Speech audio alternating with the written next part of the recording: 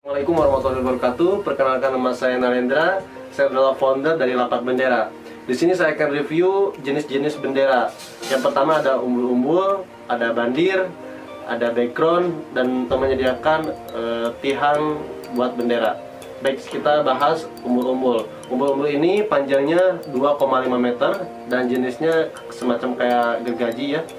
Dan warnanya yang pertama ada merah putih, yang kedua ada warna biru, merah putih, kuning. Yang ketiga ada warna merah, kuning, hijau, putih, yaitu jenis umbul-umbul. Yang kedua ada yang namanya bandir.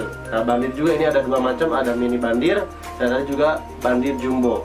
Yang mini bandir ini ukurannya 3 meter dan bandir jumbo ini ukurannya 4 meter. Warnanya sama seperti kayak umbul-umbul, ada merah putih, ada biru, kuning, merah putih, sama ada merah, kuning, hijau, putih ya. Itu jenis bandir.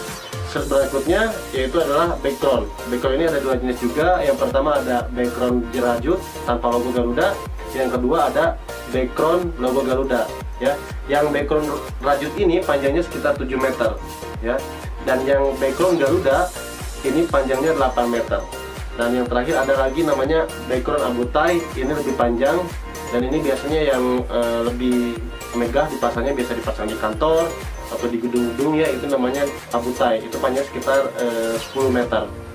Dan yang terakhir ini kita juga menyediakan tentunya bendera merah putih dari yang kecil sampai yang besar. Nanti ukurannya ada yang 1 sampai 120 ada yang 90 kali 150 cm macam-macam ya.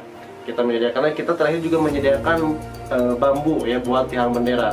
Bambu buat yang bendera ini ada yang 4 meter buat umbul-umbul atau 6 meter buat bandir dan atau e, eh, 5 meter 3 meter buat bendera merah putih juga ya tergantung kebutuhan eh, teman-teman e, semua.